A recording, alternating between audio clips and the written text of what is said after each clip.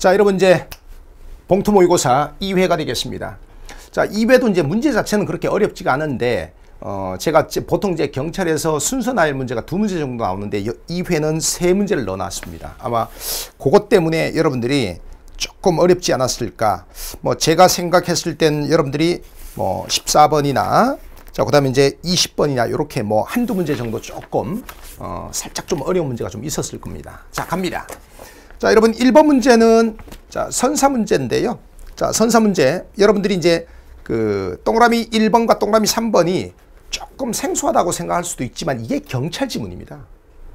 자, 다른 직렬에서는 안 나오고 이게 경찰에서 나온 지문, 직렬, 그러니까 지문이에요. 그래서 1번 지문과 3번 지문은 여러분들이 눈에다 좀 익혀두시는 게 좋습니다. 그 다음에 동그라미 4번이 이게 왜 틀렸습니까? 서울 암사동이나 그 다음에 이제 부산 동삼동은 신석기 시대를 대표하는 유적지죠. 자, 그런데 사유재산이 발달하고 계급이 형성된 모습이다. 이제 청동기 시대 이후의 모습이에요. 자, 쉽게 구별할 수 있겠죠. 자, 그 다음에 자, 2번 보세요. 2번. 2번.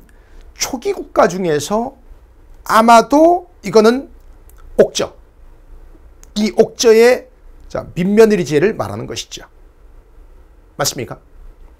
옥적으로란 소리예요. 옥적. 뭐 쉽게 3번 나오죠?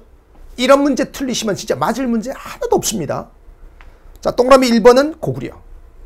그 다음에 동그라미 2번은 사만. 동그라미 4번은 동해가 되겠습니다. 뭐 쉽고요. 자, 그 다음에 3번 문제도 전혀 어려운 문제가 아니죠. 자, 요거 순장을 금지하려는 하라는 명령을 내렸다. 지중왕이죠. 자, 신라의 군주 6세기 초의 지증왕이 되겠습니다. 자, 그러면 1, 2, 3, 4번 한번 보시자고요. 자, 여러분 어, 동시전 자, 여러분 동시와 일 감독하는 관청인 동시전을 설치했다. 이게 이제 지증왕입니다. 동그라미 1번 요거는 이제 지증왕 아들인 버풍왕이고요. 그 다음에 동그라미 2번이 이게 선덕의 왕 때입니다. 여러분들이 조금 생소할 수도 있지만 이게 작년에 서울시에 또 한 번 나왔어요. 동그라미 2번. 자, 누구라고? 선덕여 왕입니다. 자, 그 다음에 이제 동그라미 4번은 지등왕이죠. 지등왕이죠. 그래서 이제 여러분들이 쉽게 고칠, 그 정답을 칠 수가 있고요. 자, 그 다음에 4번 문제 한번 보시자고. 자, 4번 문제 옳지 않은 것을 골라라 그랬습니다. 정답은 3번, 4번 둘 중에 하나죠. 그런데 3번이 이제 왜 틀렸냐면은 자, 여러분 수자내연이라고 하는 게 있어요. 수자내연. 쉽게 말하면 지난 3년간 전입해온 호란 뜻이에요. 이게. 그러면 이 얘기는 뭐냐면은 이 민정문서의 이런 기록으로 봤을 때 자, 당시에 우리가 알고 있는 상식 아마 당시 고대 사회에서 마을과 마을 사이에 어떤 그이 거주 이전이 거의 불가능했을 것이다라고 보통 우리가 그 이해하고 있었는데 이 민정문서 이 표현으로 봤을 때 제한적이지만 거주 이전이 전입이나 전출이 가능했던 거 아니냐. 알겠죠? 자, 여러분 동그라미 3번이 왜 틀린지 알겠죠? 동그라미 4번에 자, 맞는 표현입니다.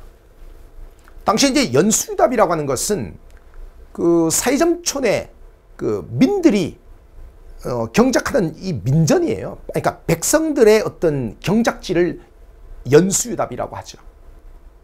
그 다음에 이제 관모답이라고 하는 것은 아마도 이, 이 마을의 촌민들이 함께 경작을 해서 그 생산량의 일정 부분, 일부 또는 전부를 관청경비로 쓰는 땅이 관모답이에요. 그 다음에 내시령답은 아마도 이 촌민들이 함께 경작해서 그 생산량의 일부 또는 전부를 내시령이라고 하는 귀족에게 갖다 바치는 일종의 관료전이 아니었을까라고 보고 있죠. 이 정도 이야기는 그렇게 생소한 이야기가 아닙니다. 수업 시간에 아주 기본 개념에 속하는 겁니다. 알겠죠? 자, 그 다음에 자, 5번 문제 쌤하고 같이 한번 보시자고요. 이 5번 문제가 이게 뭐죠? 이게 김원창의 난이죠. 김원창의 난은 822년이라고 하는 여러분들이 연도를 애우셔도 되고 그 다음에 헌덕왕 때라는 것도 아셔야 되겠죠. 알겠습니까? 자 그러면 이거와 가장 가까운 시기래, 시기랍니다. 당연히 정답이 2번이겠죠. 왜? 아니 청해진을 설치한 게 828년 그러니까 이것보다 바로 몇 년 뒤입니다.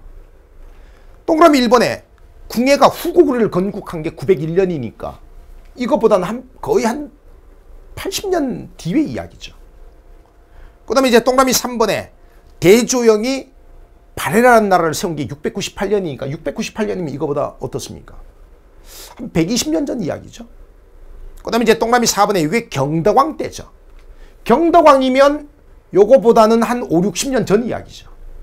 그러니까 어 5번처럼 문제를 낼 수도 있어요. 이거 문제 잘 낸 겁니다. 이거. 문제 아주 깔끔하게 잘 낸 건데 뭐 정답이 기원창이 헌덕왕 때다. 822년 헌덕왕 때다. 요런 정도의 연도 감각만 가지면 문제 아주 쉽게 풀 수 있죠. 됐습니까? 자, 그 다음에 6번 한번 보세요. 이 6번 사료가 이게 되게 유명한 사료죠. 이게 최승로의 1028조입니다.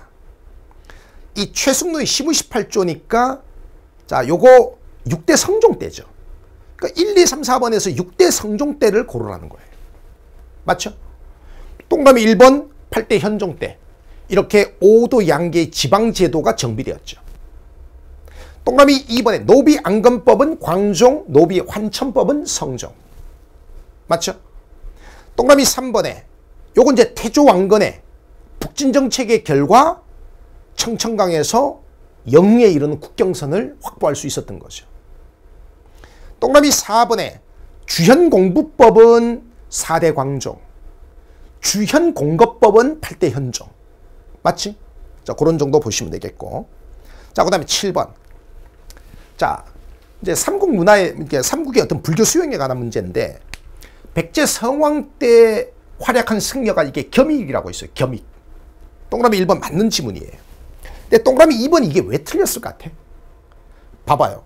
고구려나 백제의 경우에는 실제로 왕실이 먼저 수용, 왕실이나 귀족 지배층이 먼저 수용한 것으로 되어 있죠.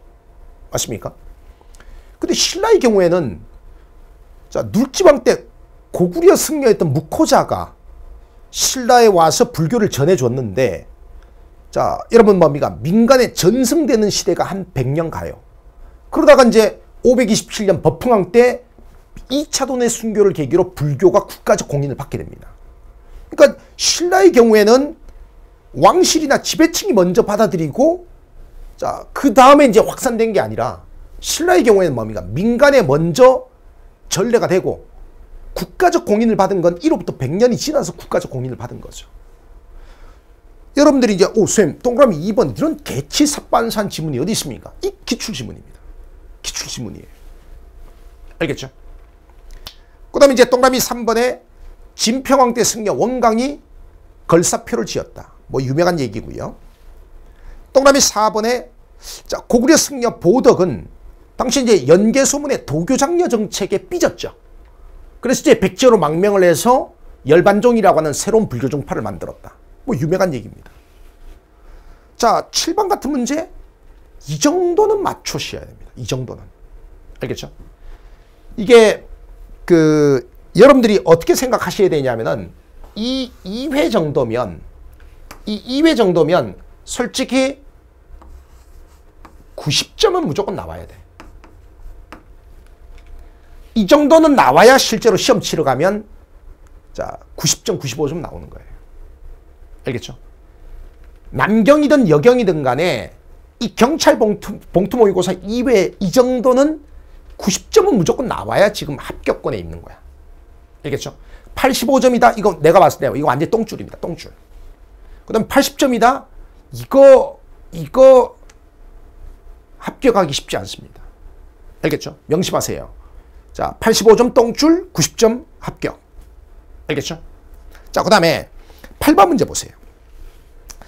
이 정도 순서 나열은 이건 진짜 하셔야 돼. 봐봐. 이거 경찰에서도 이거 잘 내잖아. 무신정변이 일어나고 나서 제일 먼저 일어난 게 뭐야? 반무신난이지. 1173년에 김보당의 난, 1174년에 조이총의 난. 그러니까 리얼이 이게 1173년 김보당이 나니까 얘가 제일 빠르겠지. 자, 그 다음에 내가 뭐라 그랬지? 연도를 외우지 말고 당시에 권력자가 누군지를 연결시키라 그랬지. 망이망소이 나니 이게 정중부 집권기에 일어난 사건이잖아. 그래서 이제 기억으로 가는 거야. 이게 1176년이에요.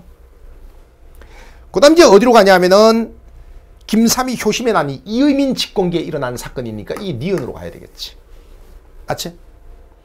그 다음에 만적이 나는 네 번째 권력자인 최충원 집권기에 일어났으니까 이렇게 가야 되겠지. 여러분들이 이 정도 순서 나열이 안 된다. 이건 진짜 공부 다시 하셔야 돼. 완전히 처음부터 다시 하셔야 돼. 그러니까 이 정도 순서 나열 문제는 정말 우리 경찰에선 이 정도면 원래 경찰이 원래 이런 거 잘 나오잖아요. 정말 이 정도는 기본이야. 알겠죠? 자, 그 다음에 9번 문제. 자, 이거는 뭐 9급이든 7급이든 경찰이든 공이 임진왜란 그 순서 문제는 원래 잘 내요. 원래 잘 냅니다. 여기서 지금 제일 빠른 게 뭐예요? 1592년 4월 달에 그 전란 초기에 전란이 발발한 지 한 십몇칠 정도 지나갖고 일어난 사건이 이게 충주 탕금대 전투잖아. 그러니까 디귿이 제일 먼저 들어가야 되지. 그 다음에 이제 그리고 나서 5월 초에 5월 7일 날 옥포해전 이게 이순신 장군의 23전 23전 중에서 최초의 승리지. 알겠죠? 그 다음에 이제 그리고 나서 그의 10월에 진주성 대첩이 있죠. 진주성 전투가 있죠. 그 다음에 이제 그리고 나서 1593년 1593년 1월 달에 평양성 탈환 전투 2월 달에 행주 대첩. 이 9번도 마찬가지예요. 결국 스토리를 묻는 거예요. 임진왜란의 그 어떤 전란의 어떤 전개 과정을 머릿속에 여러분들이 어느 정도 스토리를 기억하고 있냐. 이걸 묻는 거죠. 알겠습니까? 자, 그렇게 봐두시면 되겠고. 자, 그 다음에 이 10번 문제 자주 내죠. 엄청 자주 냅니다. 자, 여러분, 동그라미 1번 이 문장 잘 기억하셔야 됩니다.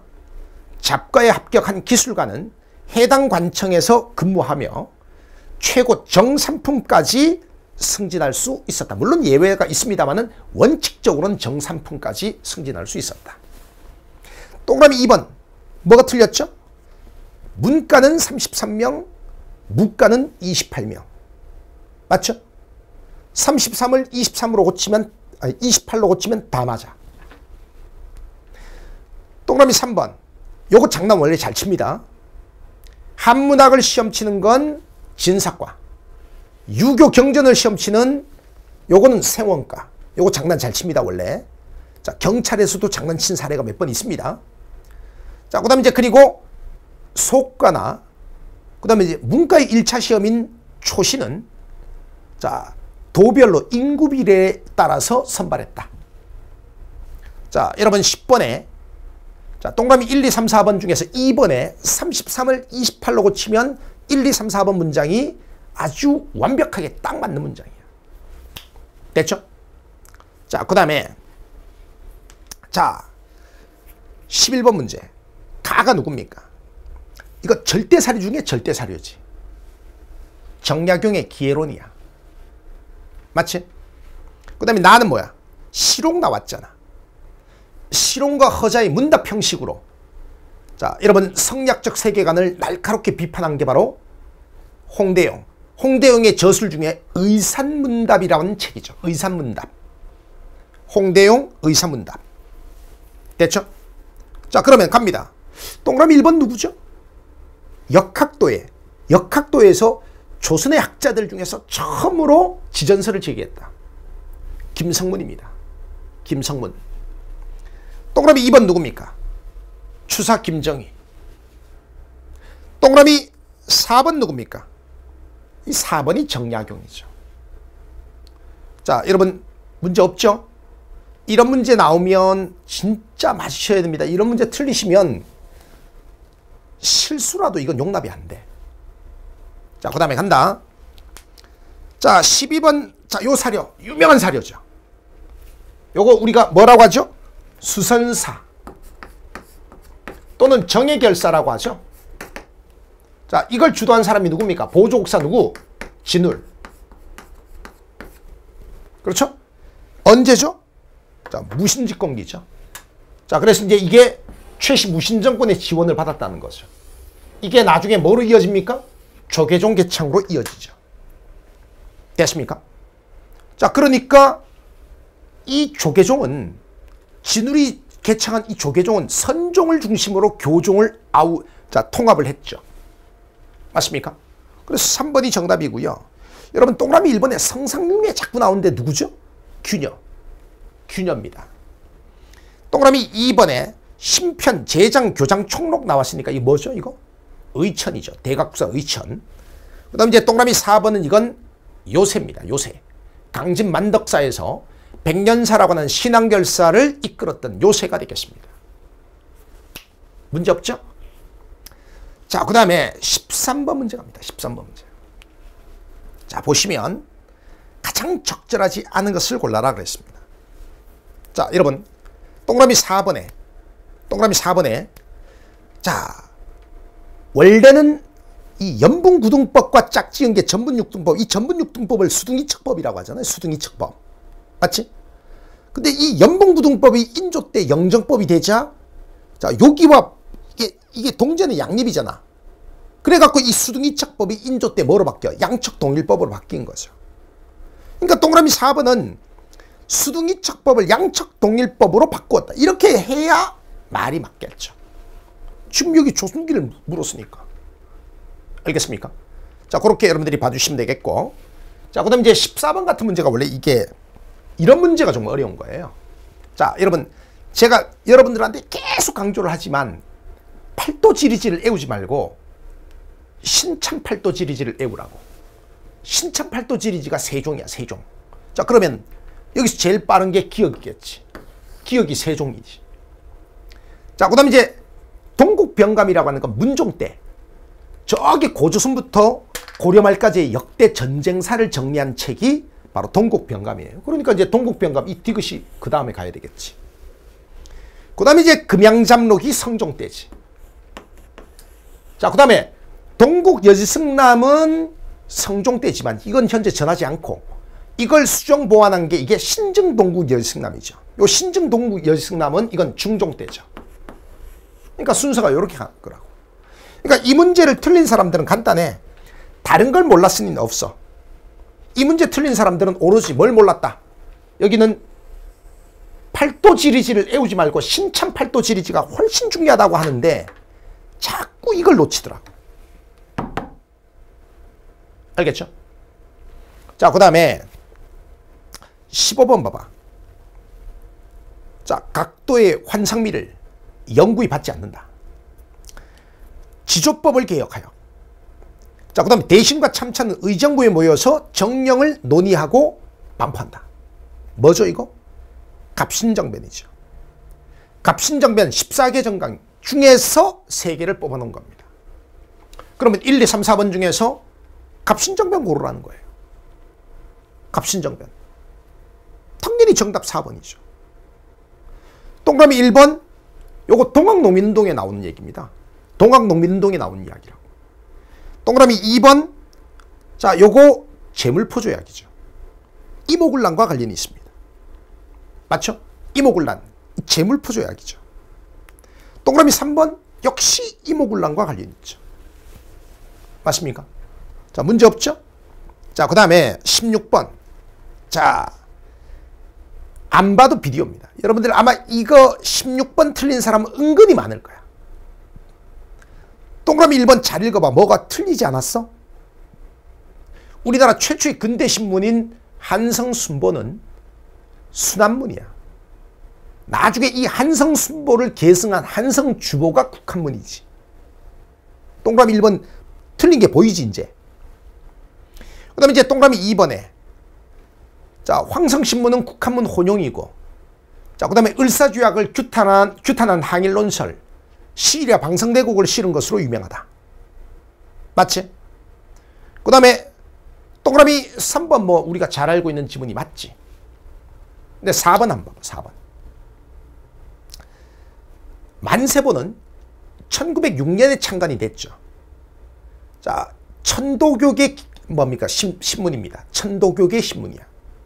자, 그리고 이게 순환글이 아니라 국한문입니다. 국한문. 국한문 신문이고요. 일진의 등에 그러니까 매국 행위를 날카롭게 비판한 바가 있죠. 알겠습니까? 자, 여러분, 여러분들이 동그라미 1번하고 4번 중에서 2번, 3번을 답치는 사람은 아마 없었을 거고 1번하고 4번 중에서 살짝 좀 헷갈리, 헷갈린 사람들도 아마 좀 있을 거예요. 자, 눈여겨 잘 보셔야 됩니다. 자, 그 다음에 17번 문제.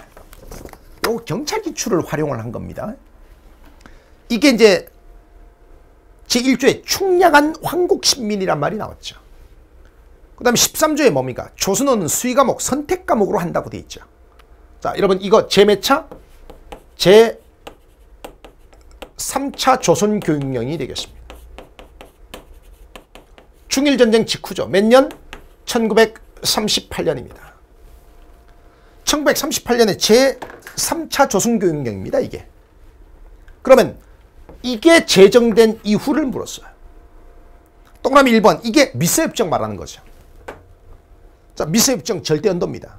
1925년이죠. 동그라미 2번이 이게 28독립선언 아닙니까? 28독립선언. 1919년이죠. 3.1운동 한 3주 전이잖아요. 동그라미 4, 3번에 이게 조선어학회 사건이니까 조선어학회 사건이 1942년 아닙니까? 1942년이니까 얘가 정답이죠. 동그라미 4번에 민족혁명당 이 민족혁명당이 만들어진 게 1935년 난징이죠. 1935년 난징입니다. 맞죠? 그러니까 이 제3차 조선교육령이 38년이라는 것만 뽑아주면 쉽게 정답을 고를 수가 있죠. 알겠습니까? 자, 그렇게 봐주시면 되겠고 그 다음에 이제 18번 문제 갑니다. 18번 문제 이거 색칠 한번 해볼까요? 3. 한국과 중국 및 서태평양에서 왜구를 완전히 몰아내기 위해서 최후의 승리를 거둘 때까지 혈전한다. 이게 바로 유명한 대일본 선전포고죠. 누굽니까? 대한민국 임시정부 한국 강복군입니다. 몇 년? 1941년 12월이죠. 1941년 12월입니다. 그러니까 결국 대한민국 임시정부나 한국 강복군 고르란 소리예요.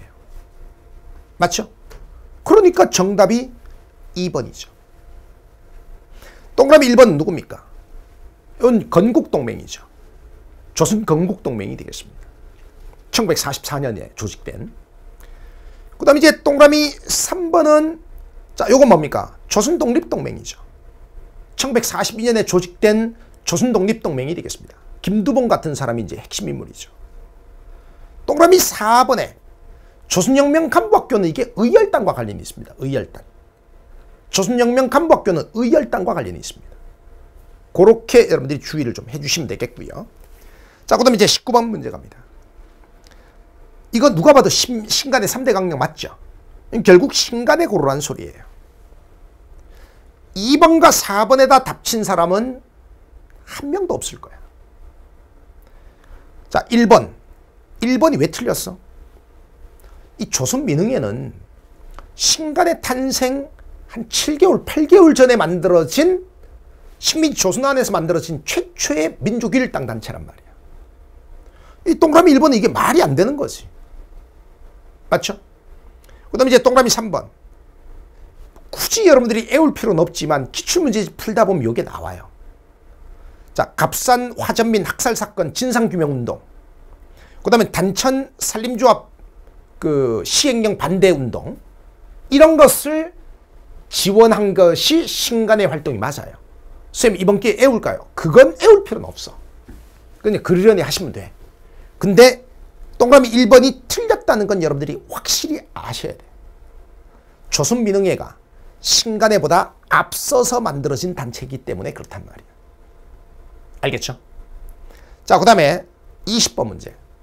자, 여러분 20번 문제가 이제 작년에 기출된 문제인데 이게 경찰에서는 아직 문제가 안 나왔을 거야, 아마. 1965년은 이제 한일협정은 우리가 알잖아. 근데 이제 한일협정은 어떻게 구성되어 있냐면은 한일 기본 조약이 있어. 그 다음에 이제 그리고 네 개의 부속 협정이 있어. 4개 부속 협정. 자, 뭐냐면은 업에 관한 협정, 제1교포의 법적 지위에 관한 문제. 자, 그 다음에 청구권에 관한 문제. 그 다음에 이제 문화재 반환에 관한 문제. 요렇게 이제 4개의 부속 협정으로 이루어져 있어. 그러니까 동그라미 4번 이게 틀린 말이 아니라고. 동그라미 1번은 우리가 잘 알잖아. 김종필 오이라 비밀회담이라고 해서 중앙정보부장인 김종필과 그 다음에 일본의 외무장관이었던 오이라 사이에 어떤 뭡니까 이게 좀 그 사전 회담이 있었어. 여기서 한일 간의 국교 정상을 가로막고 있는 가장 큰 걸림돌, 소위 돈 문제가 타결이 됐죠. 어떻게 타결됐습니까? 무상 3억 달러, 자 유상 차관 2억 달러, 그 다음에 민간 상업 차관 1억 달러, 총 6억 달러를 일본 측으로부터 우리 대한민국 정부가 제공받는 대가로 이 과거사를 퉁치기로 한 거지. 알겠죠? 그걸 이끌어낸 게 바로 김종필 오이라 비밀회담이 되겠습니다. 동그라미 1번 맞는 얘기죠. 자, 그 다음에 이게 동그라미 2번 이게 왜 틀렸는지가 좀 어려워. 그러니까 한일회담 반대 시위가 막 들끓으니까 이게 한일회담 반대 시위를 우리가 63 시위라고 하잖아. 63 시위. 맞지? 63 시위라고 하잖아. 1963년에 아 64년에 자 그러니까 이제 박정희 정권이 이걸 탄압하기 위해서 조작한 사건이 이게 인민혁명당 사건이야. 인혁당 사건이라고 하지. 이 인민혁명당 사건을 조작해 갖고 이 그 소위 이제 63 시위를 그러니까 63 시위를 이제 간접적으로 이제 억누르기 위해서 그러니까 뭐 간첩 사건 비슷한 걸 이제 조작을 한 거죠. 요게 이제 인민혁명당 사건이에요. 그 다음에 이제 민청학년 사건은 언제냐면은 1974년입니다. 이 민청학년 사건은 사실 이제 유신 반대 투쟁이 막 일어나니까 이걸 탄압하기 위해서 이제 민청학년 사건을 일으킨 거죠. 1974년입니다. 이 유신 시대입니다, 이거. 알겠죠? 그래서 저는 제가 봤을 때 여러분들이 그 요 2회 경찰 봉투 모의고사 2회에서 여러분들이 조금 어려워했을 법한 문제가 제가 봤을 때 20번하고 14번 정도예요. 20번하고 14번 정도는 여러분들이 아마 조금 어려워했을 수도 있겠다. 알겠죠? 그 다음에 나머지는 여러분들이 뭐 틀린 문제가 거의 없어요. 자, 아까도 제가 여러분들한테 말씀드렸죠. 이 정도 난이도라면 솔직히 이 정도 난이도라면 어 뭐 뭐 작년 경찰 1차보다는 조금 어렵고 작년 경찰 2차보다는 조금 더 무난하고 그러겠죠. 그러니까 이 정도 시험치면 하여튼 90점은 나와야 됩니다. 90점은 자 한국사 때문에 떨어지는 일은 절대 없다. 그 다음에 이제 85점은 이건 똥줄이다. 똥줄. 그 다음에 이제 그리고 80점 이하는 이거 지금 운동할 때가 아닙니다. 지금 한국사 공부하셔야 이번 경찰 1차 자 기대 필격격이라도 기대해 볼 수 있습니다. 자 여러분 이걸로 쌤이 2회 자, 분석 강의 모두 마치겠습니다. 자, 여러분 고맙습니다.